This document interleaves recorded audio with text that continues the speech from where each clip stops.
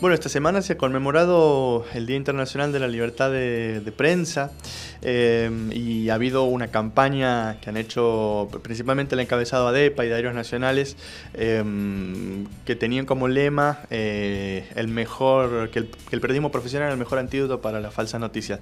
Ahí hay como, tres cosas para pensar en respecto a este tema.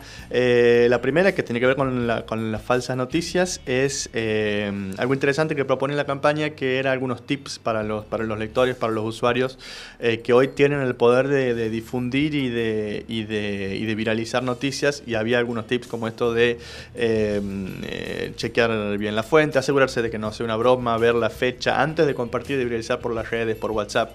pero lo cierto también es que las falsas noticias no son una cosa nueva, las falsas noticias existen desde el origen de la prensa. Eh, en el siglo XVII ya había publicaciones este, satíricas o que difundían noticias falsas pasándose por verdad, haciéndose pasar por noticias verdaderas. Ahí hay un, segundo asunto que es cuando hablamos de la libertad de prensa, no confundir con otros derechos como la libertad de expresión o como el tema que nosotros intentamos discutir en las universidades, que es el derecho a la comunicación. Ahora, la pregunta importante para hacerse ahí es, quién ejerce esos derechos y dónde los ejercen. ¿Dónde lo ejercen? En la esfera pública, ¿no? que es el espacio donde se ejerce la libertad de prensa, la libertad de expresión. ¿quién lo ejerce?